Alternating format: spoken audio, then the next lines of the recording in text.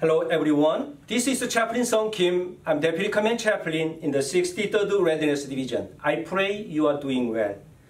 This is a true story that I heard. Megan, the boy's mother, decided to find out how much her young son understood. She asked her son, Where do you live? In my new house, he replied. The mother asked if he knew one, what street he lived. Palmer, he said with a look of satisfaction. Right. His mom enthusiastically responded, Can you say 1314 Palmer? Then his mom asked, What is your last name?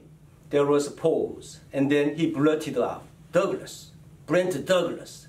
Well, she said, That is your first and middle name, but what is your last name? There was another long pause. Finally, he said, Come here. Brent Douglas, come here. Well, if he didn't exactly know who he was, at least he knew where he should be. Who am I? What am I doing here? What should I be doing in life? These are the most important questions that we should be taking seriously. For God wants us to know the answer. They are important. These are the questions the psalmist was asking.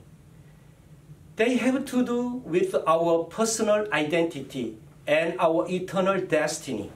How we answer those questions determines how we will live and order our lives. Let's look at Psalm 139, 39, verse 1. There is one major observation the psalmist makes about God. That is, God knows us personally. David wrote, Oh Lord, you have searched me and you know me. God is very personal to David. God searches him and knows him perfectly. There's nothing hidden from the knowledge of God, so that there can be no excuses, justifications, or fabrications. This is an important truth to understand. There are those who think that because they have hidden something from others, they have hidden it from God. Nothing could be further from the truth.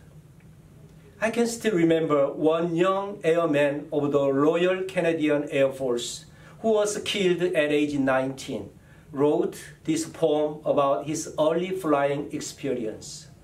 Up, up the long, delirious, burning blue, I've topped the wind-swept heights with easy grace, where never lark or even eagle flew.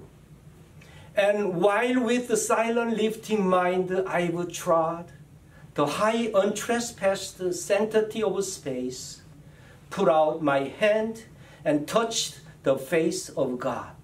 Touched the face of God. You have to be looking before you find something. Only those who ask are answered. Only those who seek find, and only those who not find the door open to them. God is everywhere. But you have to be looking for Him to find Him. COVID 19 is a bad thing.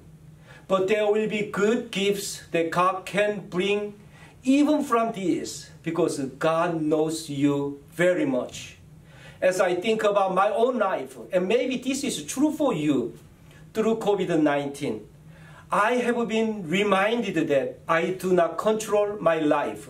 Yes, I cannot control my life.